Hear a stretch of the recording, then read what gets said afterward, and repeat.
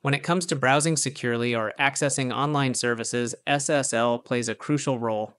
But encountering the SSL Connect Error 5 can be incredibly frustrating, especially when it blocks you from connecting to essential services. As a tech expert, I can tell you this error occurs because of an issue during the SSL handshake, the process that encrypts and secures your connection. The problem could stem from outdated network configurations, interference from your antivirus or firewall, or even issues with the server's SSL certificate.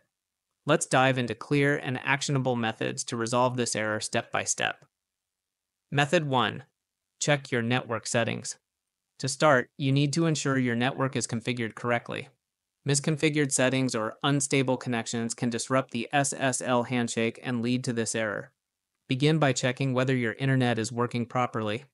Test your connection by visiting a few other websites to confirm stability.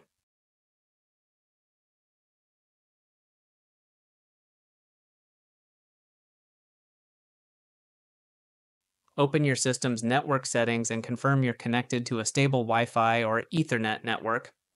If you're using a VPN or proxy, disconnect it temporarily as these services can sometimes interfere with SSL. Restart your router or modem to refresh your connection, as this clears out potential network glitches. This process ensures that your connection is stable and not causing the issue. Method 2 Adjust firewall and antivirus settings.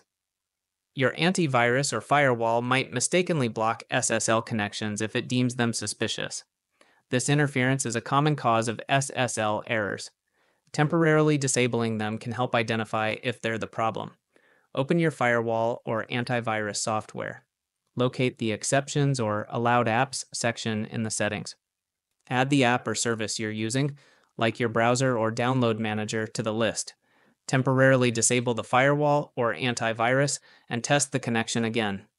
If the error disappears, re enable the software and adjust its settings to allow SSL connections for trusted apps. This ensures your security software isn't blocking legitimate SSL connections. Method 3 Clear browser cache and cookies. Outdated or corrupted SSL data stored in your browser's cache could also cause this error. Clearing it can resolve mismatched or expired information. Open your browser and go to its settings. Navigate to the Privacy or History section and look for the option to clear browsing data. Select Cookies and Other Site Data and Cached Images and Files. Click Clear Data and restart your browser to apply the changes. With a refreshed cache, your browser will fetch updated SSL information, ensuring a smoother connection. Method 4 Update browser and operating system SSL protocols are updated over time, and outdated software may lack compatibility. To avoid this, keep your browser and operating system up to date. Open your browser and check for updates in the Help or About section. Install any pending updates. For your operating system, go to the Update section in your system settings and download the latest updates. Restart your device to ensure the updates take effect. This ensures you're using software with the latest security patches and SSL support. Method 5. Verify date and time settings. SSL certificates rely heavily on accurate system time. If your device's date or time is incorrect, the SSL handshake may fail. Open your system's date and time settings.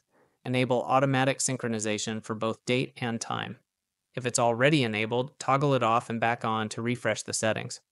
Restart your device to ensure the changes are applied. With the correct date and time, your system can verify SSL certificates properly. If none of these methods work, the issue might be server side. The website or service you're trying to access could have an invalid or expired SSL certificate. In this case, reach out to their support team, explain the error, and wait for their resolution.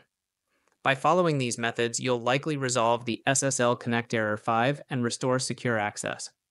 Whether it's a network issue, a software glitch, or something on the server side, these steps cover all the bases. Troubleshooting SSL errors doesn't have to be overwhelming when you tackle them methodically.